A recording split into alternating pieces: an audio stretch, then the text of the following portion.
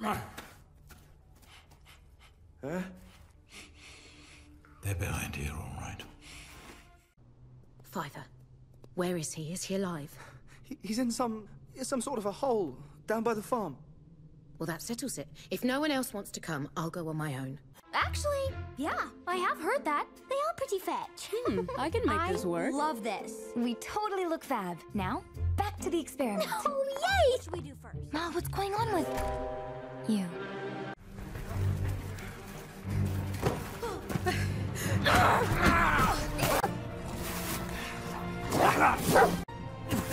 Ah!